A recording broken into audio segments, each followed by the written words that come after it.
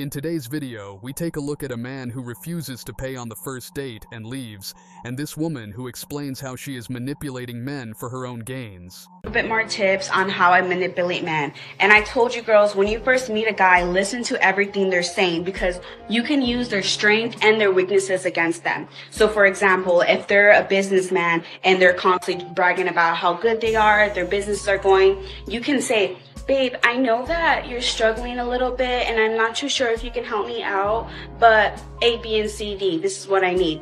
They are to be triggered beat. They're to be like, wait, what do you mean, babe? I can help out. I'm not struggling financially. Like, what are you talking about? You are triggering emotion out of them to get something you want. Do you see where I'm coming? And you girls are like so scared. You y'all just have to be bold for this and make it sound very innocent. You do not want to offend him. We can do this with our baby voices. If he's a doctor, you can use um his strengths against him. Like he's super smart. You can say, "Babe, I know you're just a doctor, but I know you're just a doctor, but do you know anything about this?" He's be like, "Yeah, just because I'm a doctor doesn't know doesn't mean I don't know." He will give you full on details on everything. He'll probably even do research to tell you about this topic. Like use these guys' strength to advantage to get what you want out of them. For example, if he used to say he used to have a really abusive dad, you can call him later on in the relationship. This is all fake. You can make up a fake ass story and be like, baby, I just got off the phone with my dad and he was yelling at me and he told me like he's not paying my car insurance. And then women are very fast to claim that men are the problems when it comes to dating, which, as we just heard, could not be further from the truth. Yeah, there are some bad men out there, but if you compare it to the number of women who do the things this woman is suggesting and then get away with it is staggering, and some women, including her and her, can even make themselves look like the victim in such situations. Hey guys, this is my profile on BLK. Um, as you can see, it says my name, my age, everything. That's my first picture. I said something casual. So yeah, I'm going scrolling down. See, it says my description. I said I'm a chubby black girl. I'm a simple anime, horror movies, old R&B tracks. Let me be in charge of the aux cord. And I also said if you live with your mom, baby moms or moms, please have your own place. I don't think that's so much to ask, you know. And I'm not judgy, but it's a no for me. And please no D pics. Don't like that. Okay. And my I'm I love this late. question. My best excuse for being late is I'm never late. And I added a little giggle at the end to be like, you know, really cute and stuff. And yeah, that was my second picture, guys. I said I'm looking for a best friend.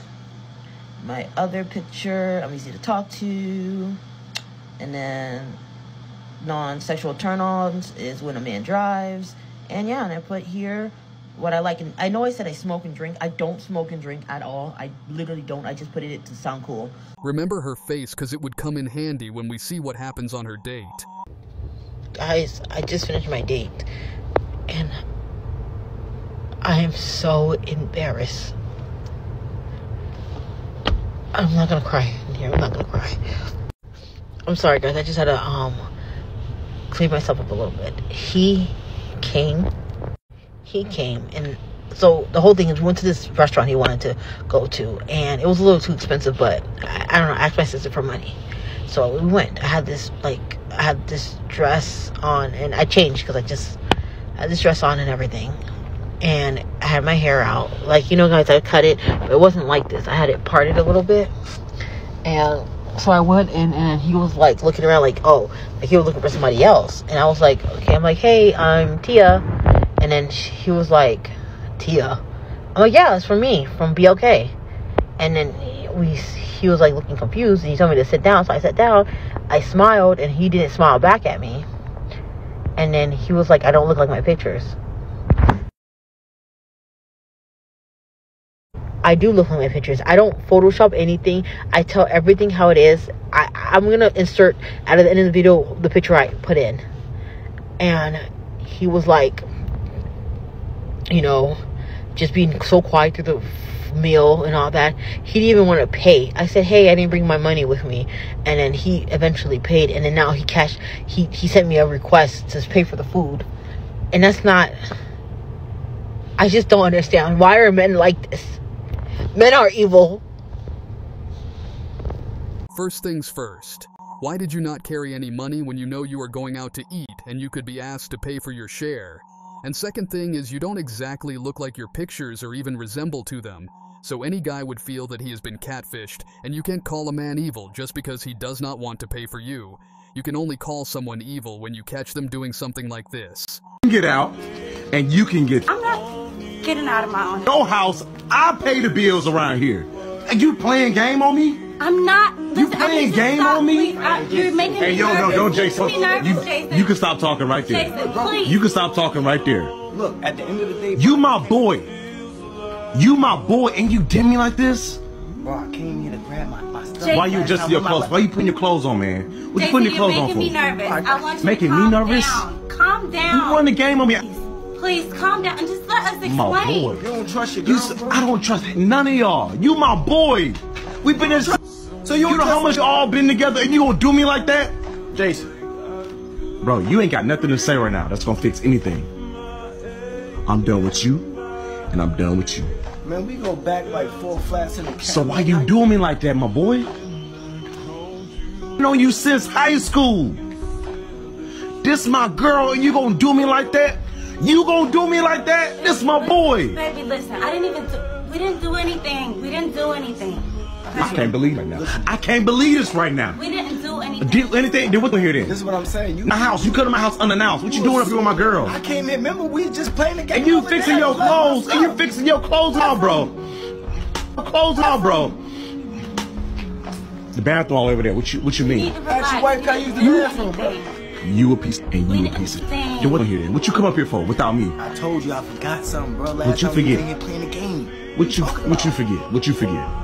Tell me. Exactly. You're a piece of Jason, I want you to just calm down. Let's all talk. calm down. Yes, Boy. Whoa! Whoa! Whoa! And you lying in my face about it. Brian, did we do anything? Can you please tell Jason to just relax? So relax? you don't trust your girl? Don't you don't trust none of me y'all. more Your word means nothing. You knew me before. Your word means nothing. Let's just tell him the truth. I'm saying there ain't no truth to tell her. Stop playing with me. I already know what's going Tell on. him the truth about what's going on. Oh my god. Yes, I just don't think this is gonna end. Jason, I don't want you to have to like. Get there. All right, look, Dave, look. Get there. As I said, there are some bad men out there, and there are a lot of women who betray their partners and break their healthy marriages just for some thrill or to just chill. And there are only so many instances in which you can use the term evil, and this is definitely one of them. Currently, I don't date, and it's purely for the reason that I am exhausted. I'm constantly exhausted by seeming to attract the wrong type of people, the people that have no interest or fulfillment in my life. And like my ideal date, like, yeah, I love the bougie type of shit, but I've actually gotten to a stage of maturity where it doesn't need to be that. And all I actually crave in this fucking life is consistency consistency, respect, truthfulness, and that's fucking it. I don't know why it's so hard to come across. And I am really considering moving countries because I just do not feel like Australia can offer me that type of person.